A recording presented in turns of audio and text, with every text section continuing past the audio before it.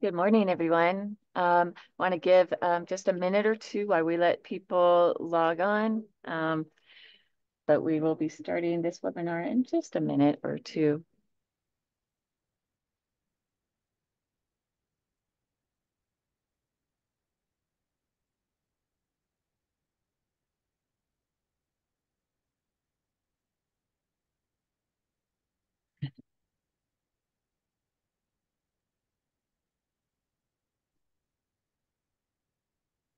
All right, well, that um, looks like people have um, logged on, and I want to welcome everybody to the Florida Friendly Landscaping Professional Webinar Series.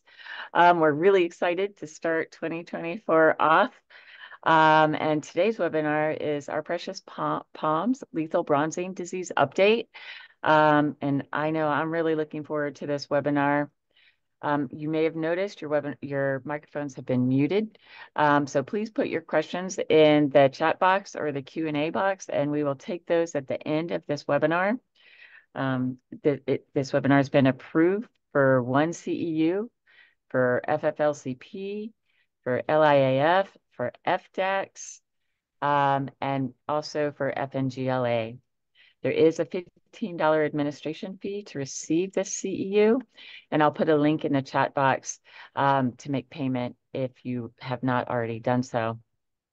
Um, we'll submit the CEUs on Friday um, to give people a chance to register for those CEUs after the webinar is over. Um, and this is part of a monthly webinar series held on the second Tuesday of the month at 10 a.m. Our next webinar will be February 13th Using Water Wisely, an Irrigation Design Standards Overview with Emily Lang and Deirdre Irwin. Um, and also one other thing to um, remind you of is that you will see a survey invitation pop up. Please take a moment to fill this out at the end of the survey. It really helps us determine what we're um, going to offer in the future as far as educational programming and also ways that we can improve these webinars to suit you.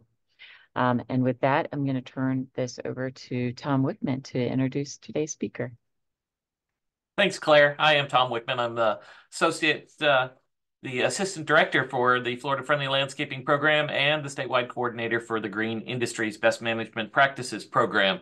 So it's uh, it's great to have so many folks here. We're approaching, looks like we're uh, somewhere around 100 folks already that uh, have logged in so early in the year, it's really important because uh, this is a topic that uh, should interest so many folks. So let me introduce our speaker. Dr. Brian Bahder is an associate uh, associate professor at the University of Florida Fort Lauderdale Research and Education Center. He specializes in insect vector ecology, specifically in vector discovery of new and emerging pathogens that cause economic loss in agricultural and ornamental cropping systems as well as understanding the evolutionary relationships and molecular mechanisms that determine the ability of species to transmit pathogens. His current research interests include the epidemiology of phytoplasmas infecting palms as well as other common tropical ornamental plants and their associated diseases and insect pests, and developing management strategies to reduce economic loss. Dr. Bahder has degrees in entomology from the University of Delaware University of Florida, and his PhD from Washington State University. Today, he'll be presenting an update on the horrible palm disease, lethal bronzing. Let me turn the floor over to Dr. Brian Bahder. Take it away. Thanks, Tom. Well, good morning, everybody. Uh, thank you uh, for tuning in uh, to hear on the update on lethal bronzing, where we are with the uh, the research. Um, before I get too far into it, just a quick uh, thank you to my funding sources, both nationally and internationally, that have kind of helped build this program, uh, to my students and staff over the years.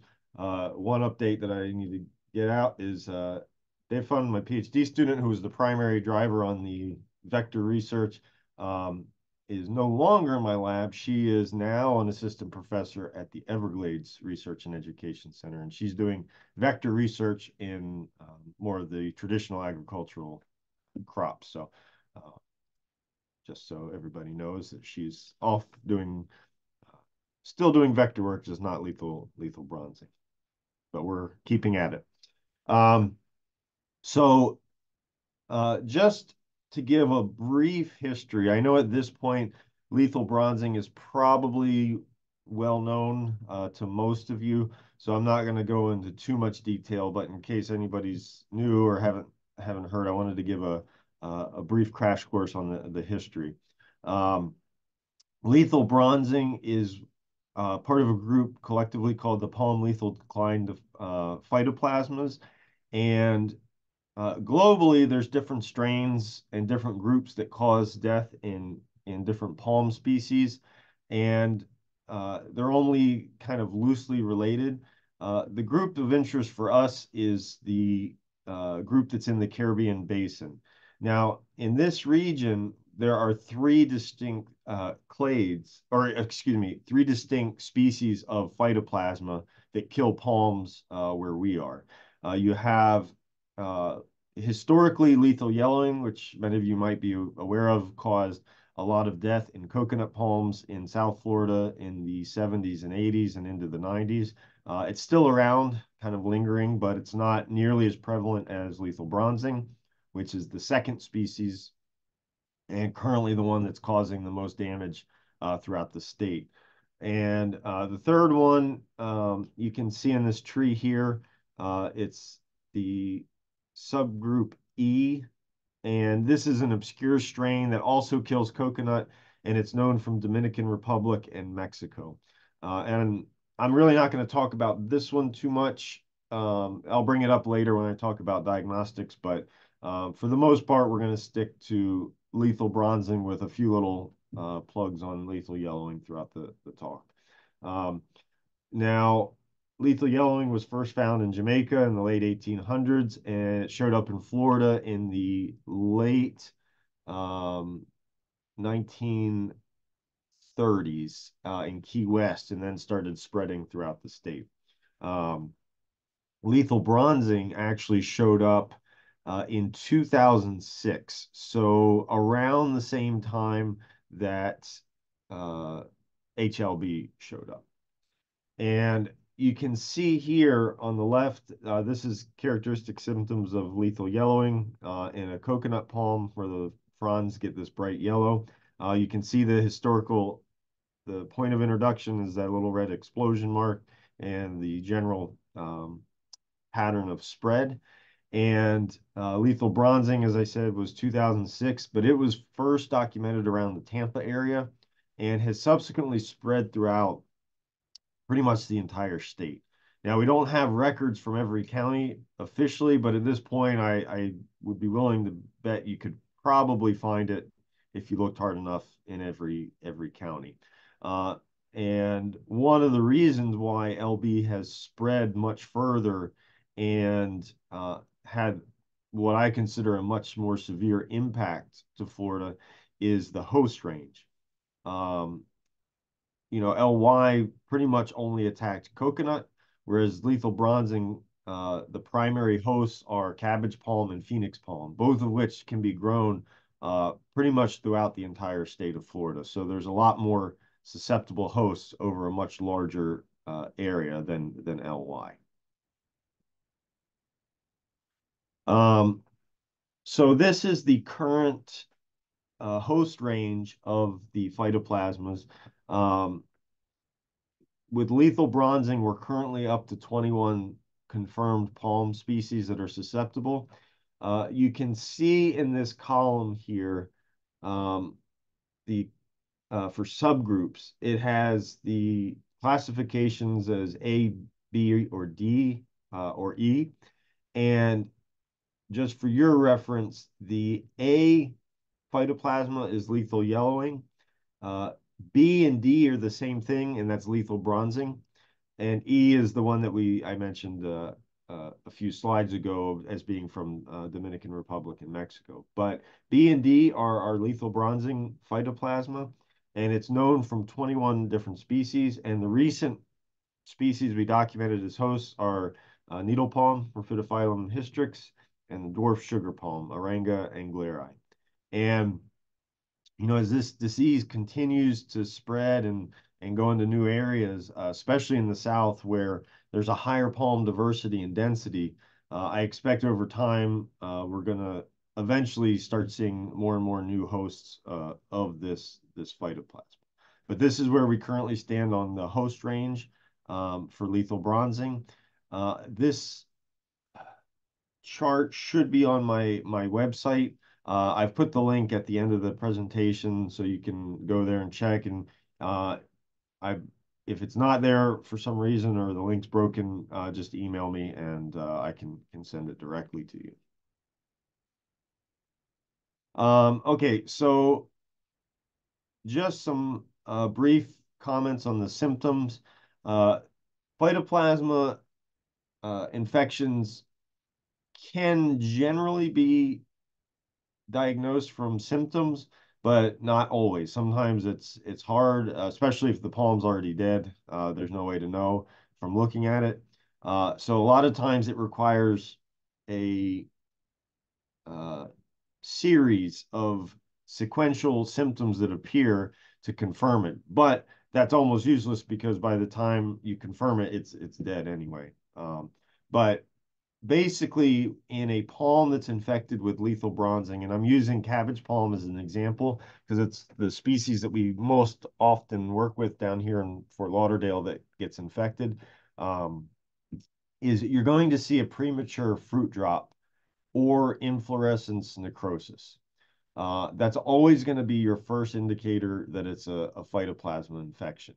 Uh, now, if you get something like Ganoderma or Fusarium, you don't always lose the fruit um, or flowers uh, because the uh, the fungus is kind of localized in different areas and isn't necessarily going to affect uh, that structure on the plant.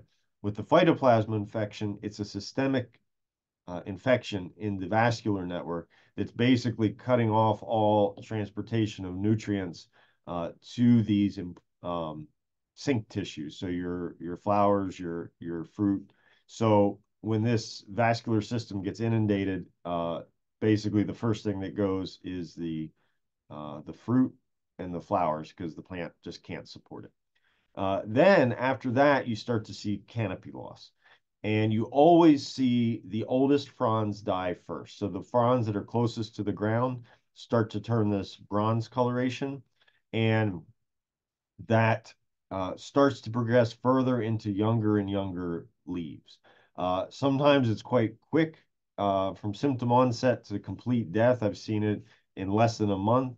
Uh, sometimes that uh, canopy loss can take, you know, six, seven months to to occur. There's a lot of variability. Why there's very that that amount of variability, I don't know. Um, it could be the overall health of the plant. It could be the amount of phytoplasma inoculated, where the phytoplasma was inoculated, or a mixture of those those factors. But you're always going to see that oh, those older fronds go first and then move into younger fronds. And this is another way to distinguish it from a fungal infection, where with fungus, you'll get a more mosaic pattern on the leaf, or sometimes you'll see older fronds that are still green and you can get younger fronds that are brown.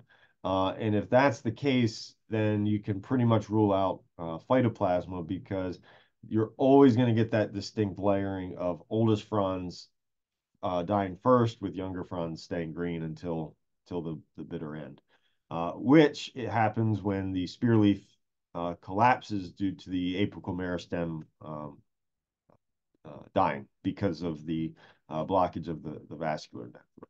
And as far as we know, it's always lethal. We've never found a palm that's recovered from the infection and have not found any palm that seems to harbor the phytoplasma but not get get sick. So um, at this point, it's um, appears to be a 100% uh, lethal disease.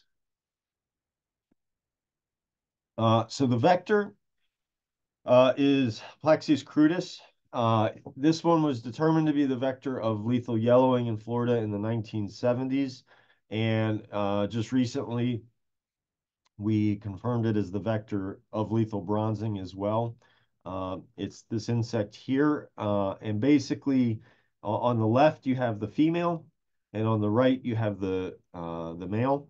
Uh, females for this group of insect usually display this kind of uh, sexual dimorphism where the females are a little more uh, darker in coloration uh, and the males are, are a little bit paler. Uh, some species it's much more pronounced, um, and in in this species it's I would say you know moderate uh, degree of difference between the males and females, but they're small, about the size of a grain of rice, and they're one of the most widespread and abundant species, not just in Florida on palms, uh, but in the neotropics. Uh, this species goes as far north, uh, based on my data, into southern South Carolina.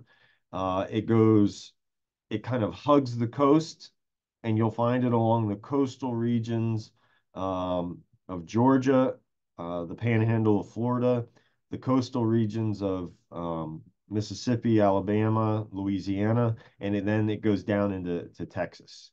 Um, and it extends pretty much throughout Central America, and you'll find it in northern South America. Uh, we know it's in Colombia, uh, Venezuela, and going in that direction, uh, the farthest east I know it exists is uh, Trinidad, and it's all throughout the Caribbean islands as well.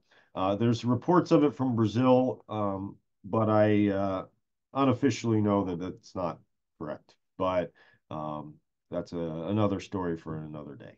Uh, but it is a, a widespread species and uh, probably the most economically important one for spread of uh, palm lethal decline phytoplasmas because part of my other research is surveying uh, these different countries for uh, other strains of phytoplasma and other vectors.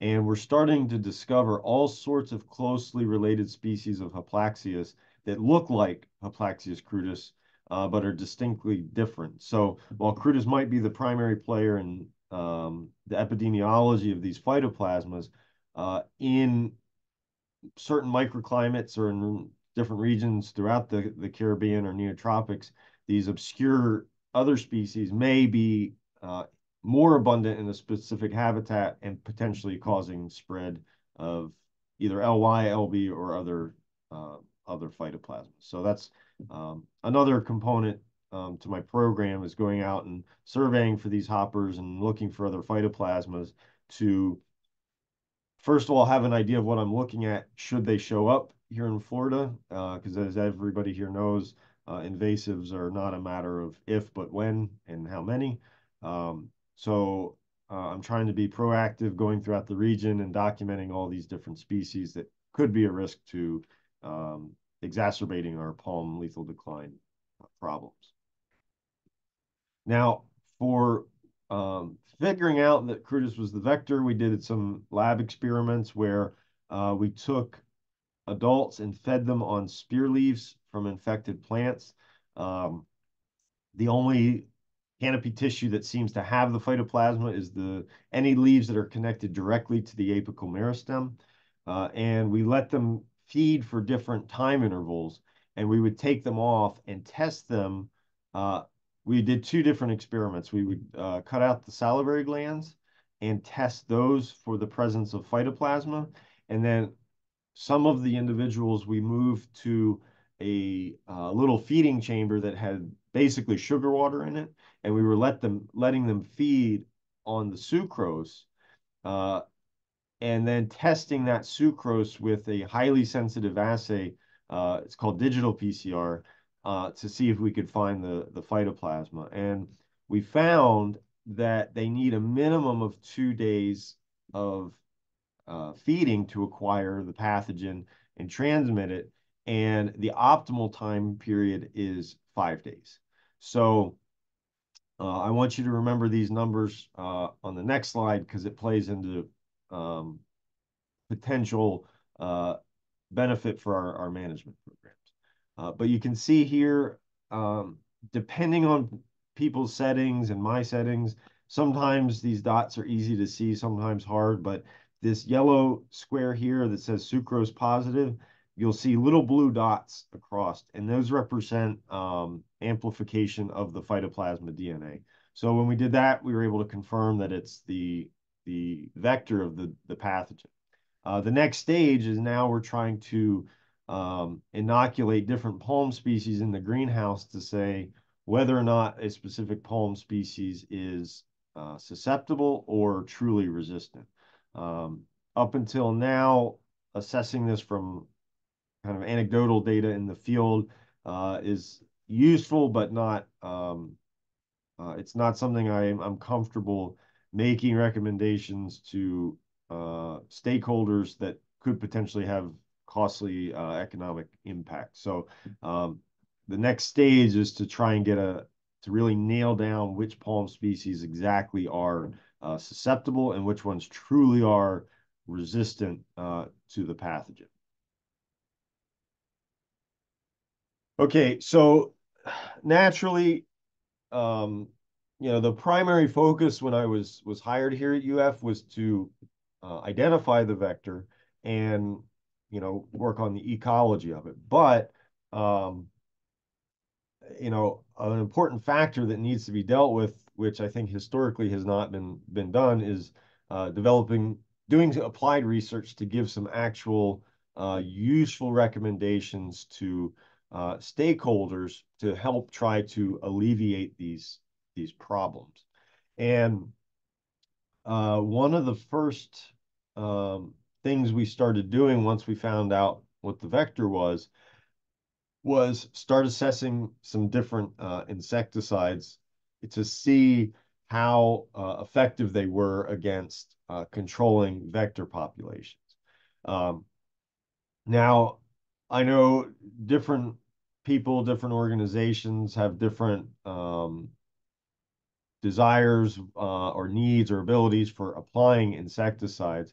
Uh, but generally, when you have a species this abundant and the problem is already well established in Florida, um, insecticides are going to be one of the best means to try and bring things back into a um, bring the disease and vector population to a level that can then be managed with cultural practices or um, um, if you uh, more organic or green green technologies. But at this point, it's such a well-established problem that uh, I think insecticides are going to have to be a one tool in the management of, of lethal bronzing. So we started with imidacloprid. And the reason why um, we've I wanted to focus on this because uh, it, does have broad efficacy against hemipteran insects, and it's widely used in a lot of different crop systems, and it's very effective at killing uh, hemipterans, things like scales, mealybugs, uh, aphids, whiteflies, so on and so forth. And it's already widely used as a um, compound in turf grass for things like chinch bugs. And as it turns out, the nymphs of Haplaxius crudus uh, feed on grasses. The adults are uh, palm feeders and they live in the canopy, but the nymphs are in, in the grass. So we picked uh, turf grass formulated compounds and treated palm seedlings because we just wanted to demonstrate the efficacy of this compound that was already being that's already being commonly used in a lot of different habitats to kind of provide stakeholders with confidence that this is a viable option for for managing vectors either in urban settings or in uh, nurseries or in, in, in private homes. Uh, so we set up some trials with Phoenix sylvestris seedlings and we treated them with different formulations. Um, we used a granular, a foliar, and a soil drench uh, treatments to uh, um, treat these palms, and then we expose them to um, cohorts of about 20 to 60 Haplaxius crudus um, to feed on them. And we took data uh, starting at six hours post feeding and uh, basically drew, drew, the experiment out until uh, all the Haplaxius crudus were dead uh, in these chambers. And we found that even at six hours, there was a significant difference between the control um, survival and the mortality uh, in the soil drench. So the green line here is the soil drench. So even at six hours, uh, we had 55% mortality. Um, a little bit different with the spray, but still a noticeable difference. Uh, with the granular treatment, we did not get good knockback of the, the population. And then basically at day one, 24 hours, you're up at around 90% mortality, which is really good. Um, and at day four, we had 100% mortality in the soil drench. Um, so another variable that's important to to know when looking at this at these data is that we were using wild caught Haplaxius crudus because rearing these things is extremely different and we don't uh, different uh, difficult and we don't have the infrastructure or resources to do it at a level that I would need to do have like hundreds of replicates for these experiments uh, at the drop of a hat. So basically, uh, we dealt with wild caught individuals. So you're going to have some mortality from the stress of moving them from the field into your lab, um, but that can be ruled out with the control. Um, and you can see there was uh, some mortality, very little, uh, about 20%.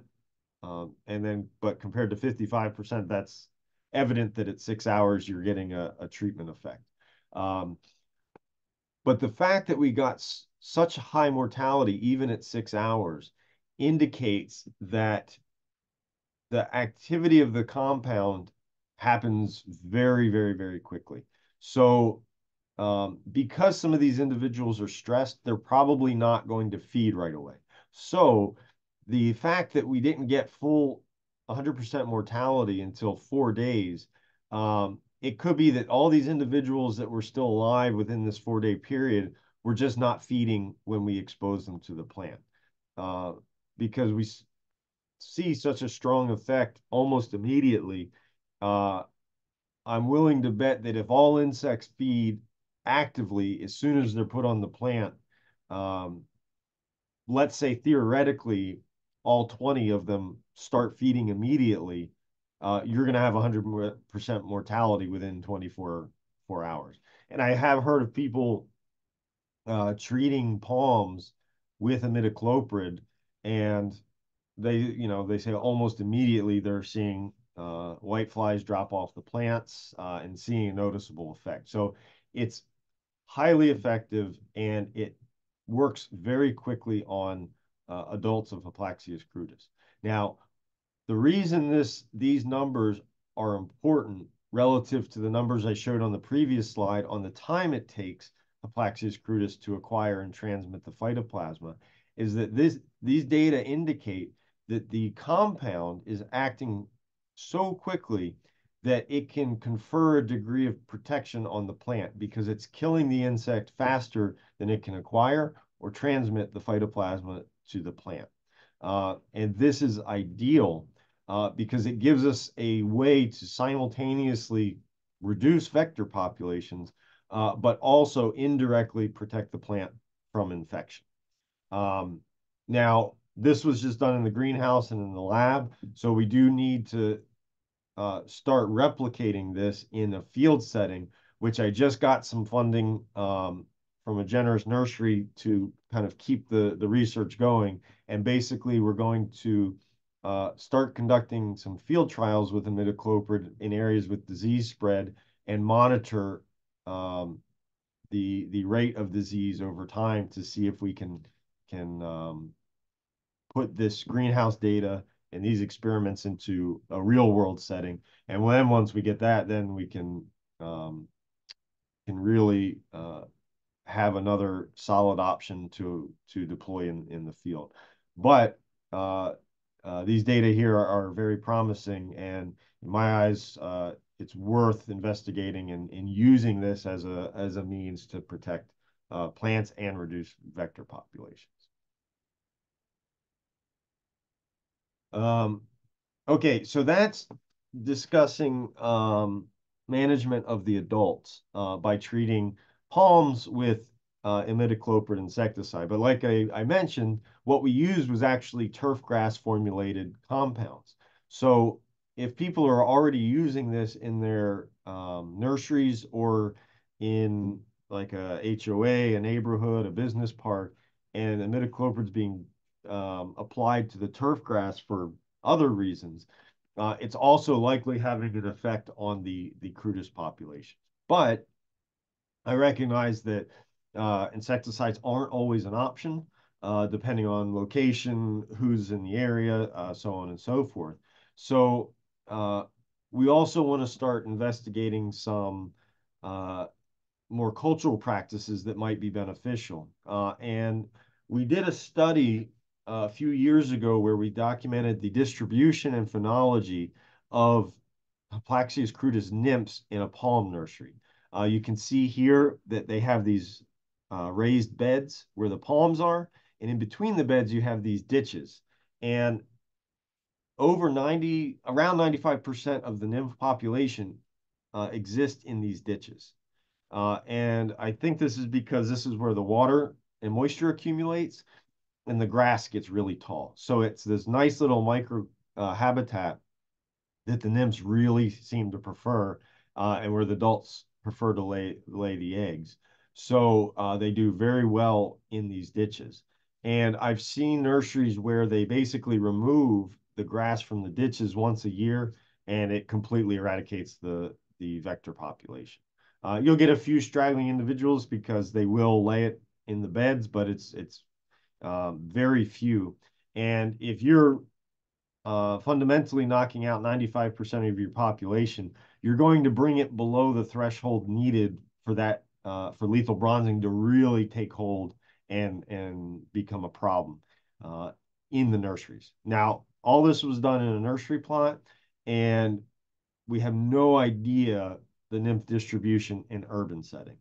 Um, it's something that I'm interested in in pursuing to look at where these nymphs are uh, uh, distributed so that we can provide better recommendations uh, in urban settings. So we can say, okay, you know, you only need to apply insecticide uh, here, here, and here, or in this general area, or in this area, you know, you know, keep the grass really short. Um, whatever options are desirable in that area, it'd be nice to be able to identify which habitat they're they're they're going for. I have some ideas as to what where to look for them. Um, they for shorter palms, they seem to like to lay the eggs near the drip line. I have found nymphs right at the drip line of the palm canopy when the fronds are kind of like touching the ground. Uh, and also in my own yard, on multiple occasions, I've seen nymphs of Haplaxius crudus uh, crawling around uh, sprinkler heads. So right there where some of the water accumulates when it comes out uh, and creates this like damp little area, uh, they seem to like that. So anywhere where there's high levels of moisture is going to be a, um, a, a highly suspect area, but uh, we need to go out and do the, the sampling to actually confirm this and, and quantify it. So we have targets um, in the urban setting, not just in, in nursery settings. Okay, so now I'm going to go a little bit into the technical side with some new developments on uh, diagnostics. Because um, as many of you know, uh, my lab offers a service uh, for testing palms to confirm the uh, infection status of a plant. Uh, and I'm continually trying to develop new tests uh, that give us um, our results faster, a higher degree of accuracy, a higher degree of sensitivity, um, so that if you have a palm that looks healthy, but it's in an area with disease spread, uh, we have a higher degree of confidence to test that and say whether or not it's truly healthy uh, or if it's infected, but just uh, pre-symptom uh, onset. So our recent uh, development on our diagnostic uh, is that we designed a test that uh, detects and differentiates all three phytoplasmas. So um, our lethal yellowing is uh, this orange curve, lethal bronzing is the blue curve, and the subgroup E that I mentioned uh, is this green curve. And we included this because it's it's a different phytoplasma, and so far we only know that it infects coconut, but the regions of the Caribbean where it is pretty much is only coconut. Um, if it got into Florida, it could jump into other palm species and be another uh, wave of, of serious infection. So we developed this test so that when people send in samples, we don't miss it. Um, so that we can be able to say, okay, the sample's positive for lethal yellowing, lethal bronzing, or if this other phytoplasma shows up, uh, we're not going to miss it. Because the previous test that we had could it could detect the subgroup E, but it would not distinguish it. So it might look like lethal yellowing in our samples, uh, and I wanted to to rectify this. So now, uh, when you send in a sample to test, uh, if you're familiar with the process, for a single sample, it's a $75 test, and you're not actually getting one test, you're getting three. We run three different assays on a sample uh, as quality control. So you get your first one um, that is a highly specific assay that is not going to give false positives. Um, some assays allow for the amplification of ambient bacteria, and that can be very uh, dangerous because if you get a false positive and say it's phytoplasma, it's costly to rip out the palm and replace it. So we want to be as sure as possible what we're dealing with is, is phytoplasma. So the first assay we do is very specific. So if it if we get a positive there, we're certain it's phytoplasma.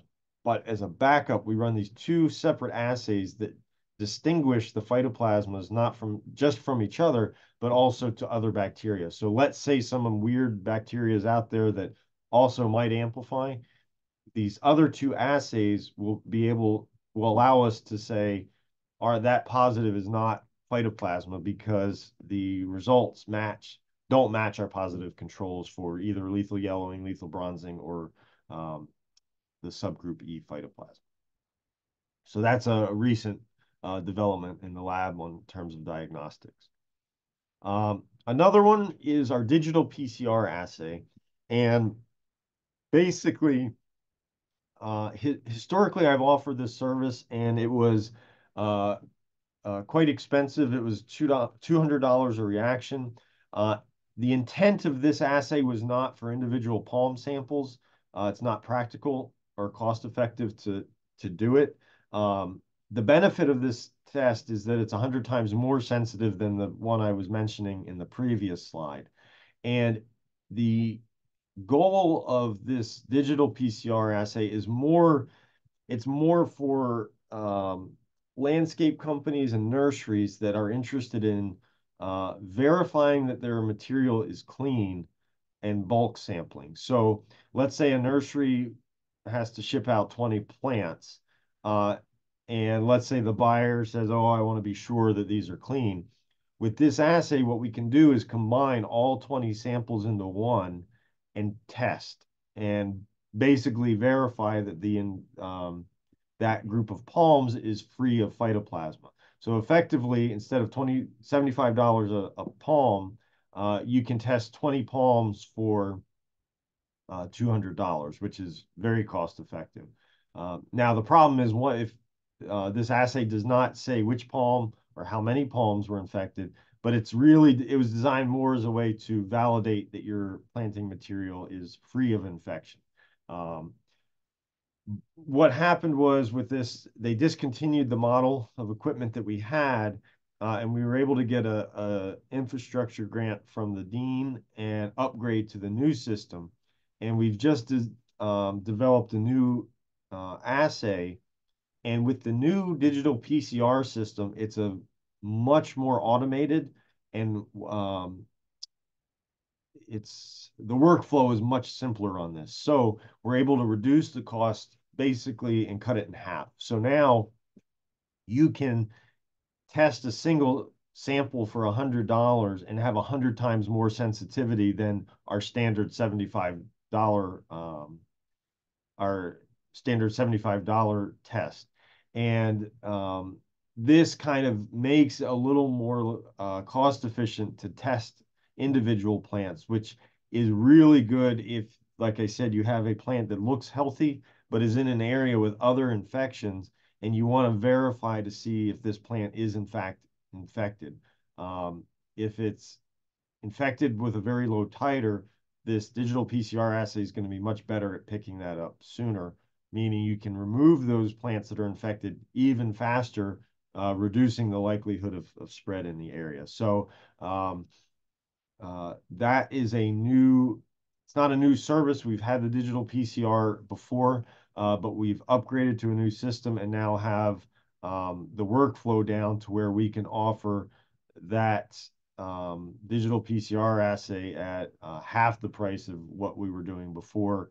Um, so kind of um, the savings in times and resources that we get setting up the assay, you know, we, we wanted to translate that into uh, a reduced fee in the, the diagnostic service.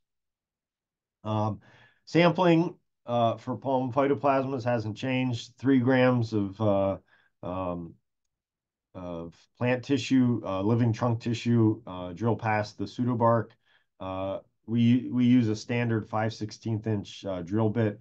Uh, some larger palm species with thicker pseudobark like Phoenix canariensis. Sometimes you may need a longer drill bit to get past the pseudobark, but um, usually 5 16th inches is adequate. Um, shipping, uh, if you take the sample and ship it, the same day. You don't have to put it on ice or anything like that. Um, but you do want to get it shipped overnight so we get it the next day. Um, so if you're going to like if for whatever reason you have to sample on a Thursday or Friday and aren't are worried about getting it out, you can put it in the refrigerator over the weekend and then ship overnight on on Monday. Uh, you don't have to um, you don't have to ship it with a with a ice pack or anything like that. Um, so I do recommend shipping by FedEx or UPS uh, and not the postal service, simply because of the how we're set up here at uh, at um, Lauderdale. Whenever a FedEx or UPS envelope shows up, it goes onto the table in the admin office, and I get an email that we received the package. If you do it through UPS, uh, it just gets sorted into my mailbox and they don't notify me for that. And meaning I only, whenever I um, get the motivation to walk across the parking lot, I check my mailbox.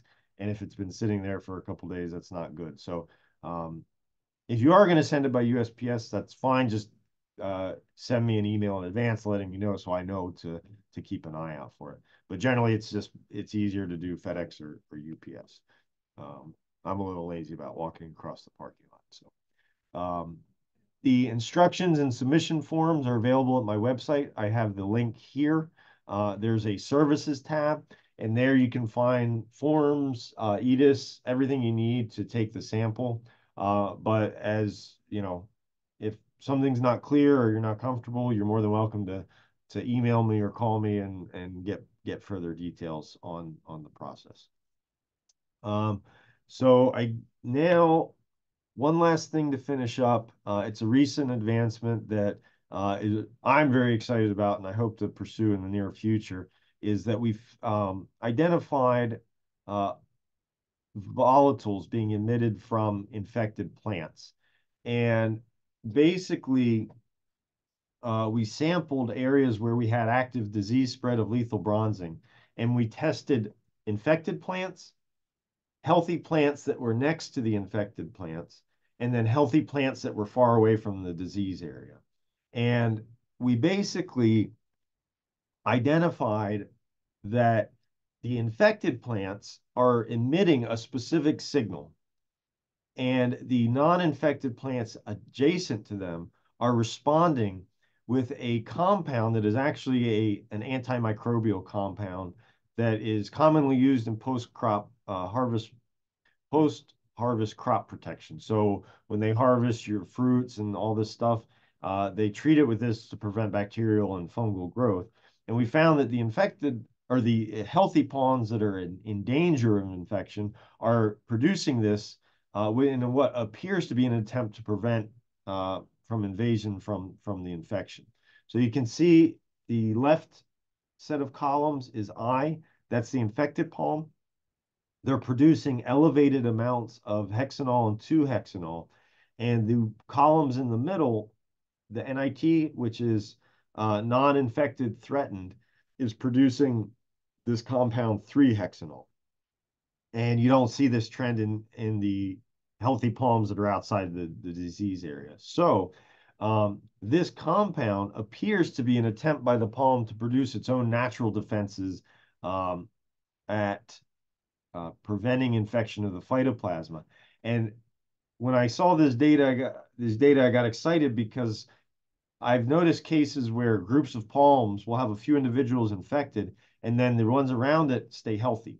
But then you'll get jump spread where palms further away will start getting infected. And I'm curious if, to some extent, this compound does protect palms from um, being infected with the phytoplasma. Because what we might be able to do is um, basically lie to the plants and set up dispensers of these alarm uh, volatiles that are emitted by infected plants and basically flood the environment with these compounds and trick the plants into thinking there's phytoplasma, giving them so they start uh, producing their own natural defenses. And then if the disease gets introduced in the area, uh, hopefully it'll be enough defense to prevent it from uh, infecting them. And I really like this route because we wouldn't have to drill holes into the palm like we need to if we're injecting OTC, the antibiotic, or with imidacloprid. Uh, sometimes people want to inject the insecticide.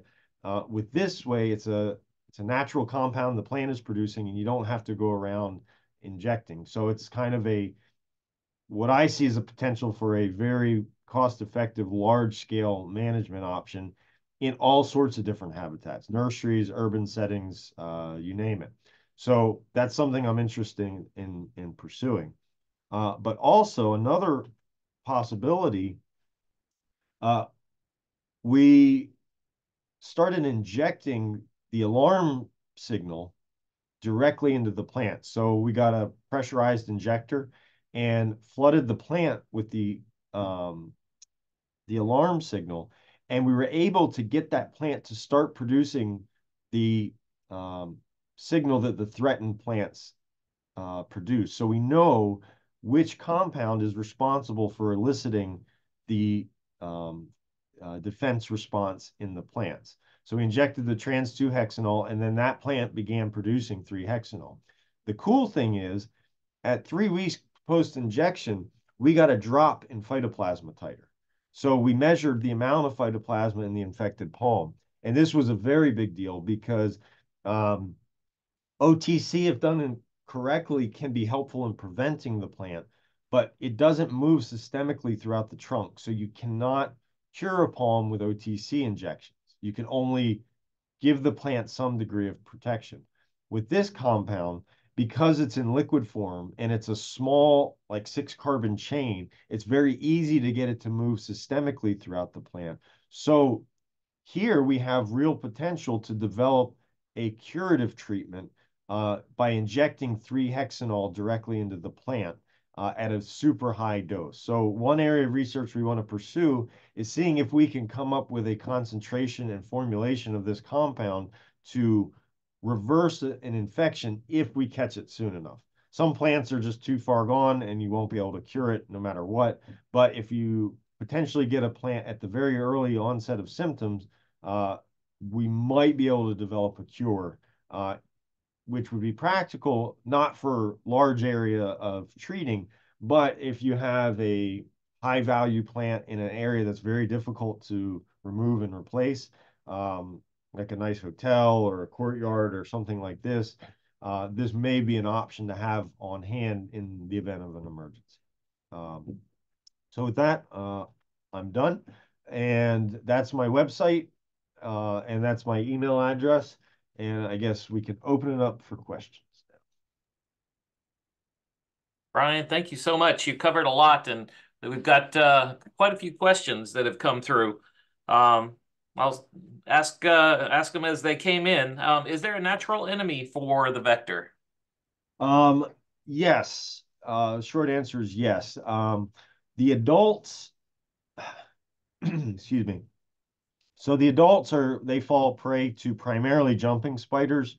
Uh, I don't see that as a a path of biocontrol. Um, there might be a fungus. Uh, I have found adults of Haplaxius crudus dead in the field that have fungal bodies growing out of them. I don't know if that's a um, pathogenic fungus on the adults of crudus or it's a secondary growth after the adult dies naturally and it just kicks in. That's something that I'm kind of interested in in pursuing. Uh, the nymphs actually, um, there's a little bit more potential there. We know that there's a nematode in the soil that is pathogenic on Haplaxius crudus nymphs. And it's actually a species of nematode that's here in North America and to my knowledge is commercially available. Um, so that might be an option for controlling nymphs and nurseries as well. Uh, but we haven't really pursued that um, uh, looking at the the ability to use nematodes or how much you would need to gain uh, effective control. Um, so far, we've just dealt done with um, dealt with insecticide trials, but uh, there are some natural enemies out there uh, that that do control um, at least the nymphs. As far as parasitoids, um, none that we're aware of, but uh, there may be elsewhere in the tropics. Uh, so that you know potentially may be something to to explore. But okay, it was pretty exciting about the potential curative. Uh, you know applications down the road um I, you know i was really excited to to know that there's there's things in the works. Yeah. Um this gentleman was under the impression that uh imidacloprid when it's inside the plant moves very slowly. Is that the case? Um i don't directly know. Um the physics of the the compound moving into the, the plant. My experience with it, um, so when we did our trials, we treated the plants uh, two weeks prior to exposing them to insects at the recommendation of um, the my collaborators who work with the compound uh, more often, or they, they deal with it on a, a regular basis. So uh, in a palm seedling, the soil drench, it got systemic in the plant uh, within two weeks.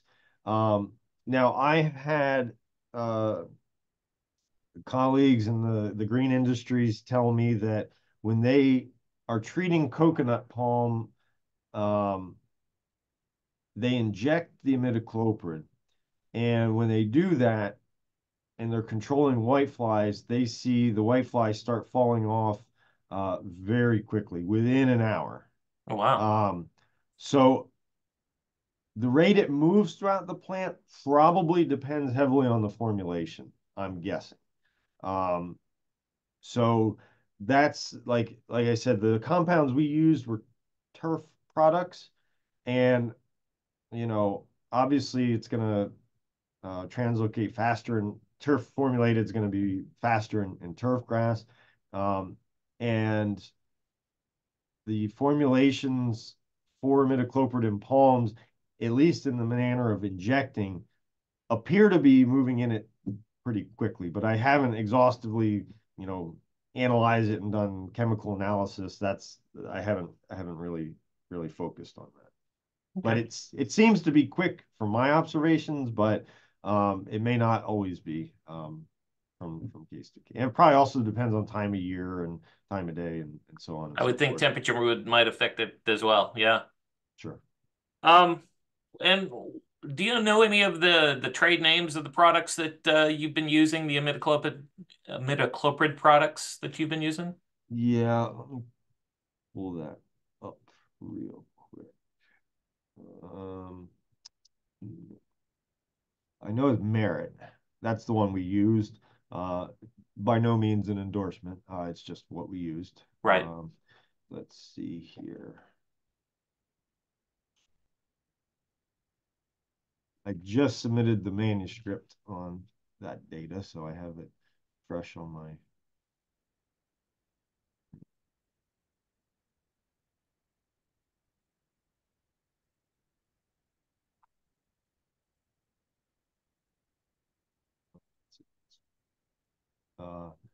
Yeah. So if can everybody see this chart? Um, Yes. Yeah, they these are the the products um, that we used in the trial. Fantastic. Um, you know, you mentioned a little bit about OTC. Is is that still an option, you know, for Uh, management? Yeah, it's it's always an option. Um, and so yeah, OTC is always an option. Like I said, it's if done properly, uh, it's effective at pre preventing infection. Um, obviously, I know nobody likes to um, um, nobody likes to drill holes into the palms. Um, it's obviously not great for the plant. Uh, it's time consuming, laborious if you're treating a lot of plants. Um, and over time, uh, again, we haven't quantified this and studied it to have a, an exact time frame, but I know that at some point you're going to get diminishing returns on any, whether it's insecticide or OTC, uh, because as you and keep injecting, you're you might be drilling new holes, but it it's connected to vascular tissue that's been disrupted. So over time, your uptake is probably going to diminish. Um, so, like in my mind, uh, if you've got the time and money and it's a high value one, you can continue doing it. Um, I would argue that probably doing it at a focusing at a more specific time of year when the vector population is higher is more practical, um, just to reduce the number of injections you need to do. Um, but yeah, I mean, in certain circumstances, um, if you want to be extra cautious, by all means, OTC is still still an option. So Okay. And how often would we need to um, treat with imidacloprid um, to control the vectors? it's a good question. I don't know that. Um, we haven't really done field trials with it yet. Um, so, um, like I said, I just got some some funding from a nursery, and the project I'm going to have my postdoc do is we're going to coordinate and basically start treating areas. Um, uh, here at the center, we have a lot of LB spreading. So we're going to go out and treat plants and um, basically see how long we um, we'll treat, you know, once a year, measure the response, and see how long it takes um, to for the population to, to bounce back.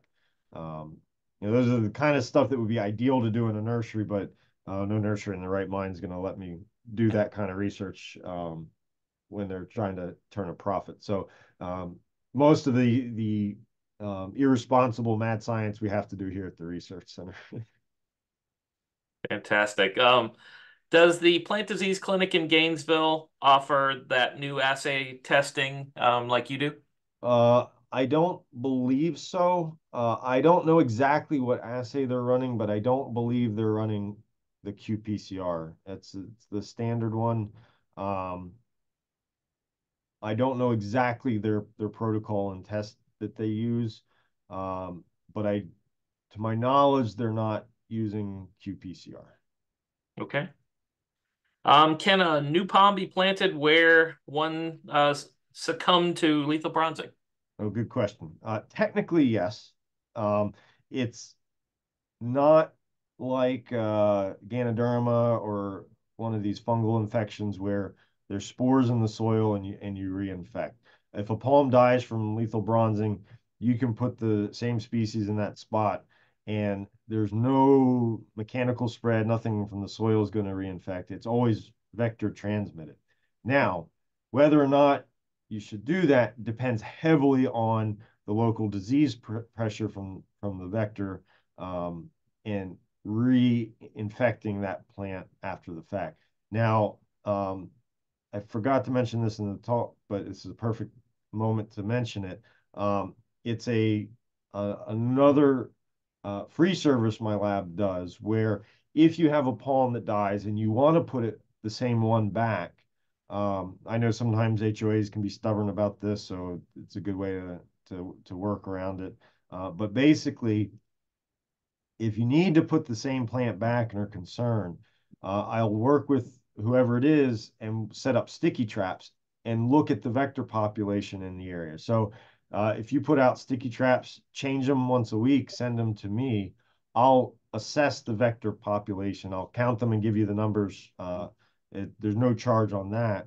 Uh, if there's no Crudus in the area, it would indicate that that plant was probably infected a long time ago or came in infected. Uh, and if basically we do a few samplings and we can't find Crudus on the sticky traps, um, or if it's a low abundance, I can say, okay, with reasonable, uh, it it's very unlikely that the plant's going to get infected if you re replant. Now, if you send me a sticky trap and it's covered with the vector, and uh, the one service that then we can follow up is we test the insects for um, for phytoplasma. I don't remember how much I the, the fee is because we haven't really done it that much, but um, the we can test the crudus for phytoplasma. So if you get a diseased plant and you send me a trap covered with crudus and they're coming up positive, that's when you may want to rethink replanting the same species, or if you have to, take really good cautions with treating. So I would say load that plant up with both uh, imidacloprid and OTC before you bring it into the area to give it uh, some protection, but then also start treating in the area um, that's a case where I would say use imidacloprid in the grass around where your area is to knock the vector population down to um, protect it. Or if you're flexible, just go with a palm species that's not uh, particularly susceptible or place it with a different kind of plant if, if that's what you, you want. Great. Um, this kind of piggybacks on what you were just talking about. Uh, this gentleman uh, lost a sable palm and he's concerned about the other 80 sable palms on the property, um, how would you recommend proceeding? Uh, in that case, um, probably to start, you probably want to get an idea what the vector population is. Right. So with that and a number of palms, uh, I would say start sticking uh, some sticky traps out. Uh, you can reach out to me by email and we can coordinate uh, sticky traps. You can buy any sort of them on uh, Amazon or any any website. Uh, now, the key with sticky traps is they have to be placed within the palm canopy to be effective at collecting the insects. So, um, you know, you need to have palms that uh, they may not be the ones dying from the disease, but shorter palms that you have access to the canopy, that you want to put them so they're enclosed within the canopy and, uh, you know, for 80 palms, um, depending on the area, I would say if you put out five or six sticky traps, um, change them weekly and then send them to me and we can look at the vector population to see uh, to see what's going on. Because um, if you have a sizable population, that's when probably you want to treat. Um, now, if there's no grass and as I don't know what the, the habitat's like, if there's uh, if it's bare underneath, then something else is going on uh, that something was brought in or uh, or whatnot, and you'd have to treat the palms. But if there's a lot of grass in the area, you can treat the grass. But you just reach out to me with details, and we can can work on that. Fantastic. Um, is there an IGR or gut fungus that may work against the insect vector? Um, probably. Um, but again, it's something we haven't really pursued. Okay. Um, yeah, I would I'm guessing yes, but I I don't know, and it's it's one of those things, one of the many projects that would I'd like to do eventually. and you know, I'll I'll kind of end with a real tough one. Um, a homeowner has a palm. How should a homeowner maintain a healthy palm? Um, I, I told you it would be a tough one. yeah. Yeah. Uh, in context of lethal bronzing or just in general? Just kind of uh, in the context of lethal bronzing. Okay. Um, hmm. That's tough because I my general vibe is that um they, they usually got to learn the hard way. uh uh is from what I've seen from experience. But Yeah. um I always say if it were me, um in my yard, I'm uh like I try to have as little grass as possible. Uh, it keeps the vector population down. Um, simply because I got, you know, kids, I don't like dumping lots of chemicals out into the yard um, on, a regular basis. Um, I have a wonderful population of the Florida snow that uh, probably dominates my yard. So, so um, you know, having a more, um, I guess the term is the Florida friendly landscape with more native plants, less grass. That's a, you know, on a private residence, that's a great way to keep um, populations down is minimizing grass because that's the key. That's where the um, immatures um, feed. So if you can mix, you know, different ornamentals or bushes and reduce the the amount of grass in your area, at least um at least where uh, you know, you get moisture accumulation. Like my yard slopes, there's a dip in the back. So I suspect I know where they're hiding. Um, like I said, I find them around my sprinkler heads. Um, so maybe like if you you could put a little bit of a, imidacloprid just around the sprinkler head, um, areas where you know they're going to target for for living um, might be be a wise choice. Um, but in general, my approach to you know I have a lot of palms at my house uh, and a lot of like neat ones that I've bought from from nurseries that I have no idea if they're susceptible to to lethal bronzing, and I don't want them to die. So my like the big back portion of my yard is basically like rock paths and mulched beds and um, I keep the grass, you know, from the dirt areas. I I so it time consuming and costly. So eventually I'm transferring my backyard into a little like kind of oasis where I virtually have no grass at all. Now that's not for everybody. So if you've got grass and want a nice yard, um, you know, treating target areas with with insecticide can help, but more or less that's how I would would recommend going about it. Awesome. And there I, were. Oh, I'm sorry. Uh, sorry, Brian. Go ahead. Uh, I like to tease uh, Micah, the the horticulturist on palms, who who focuses on um, uh, uh, fertilizers, saying, "Oh, you should fertilize your palm." And I I I kid her that um, the palms with a full nutrient load are the ones that are more susceptible to lethal bronzing because there's all those nutrients for the phytoplasm. So don't fertilize your palm. Brian, thank you so very much uh, from reading the comments in in the uh, the chat. You know, uh, numerous people were were so happy with this information. It's up to date. It's current, um, um, and and they really uh, found it uh, you know really helpful. So thank you so much for taking the time.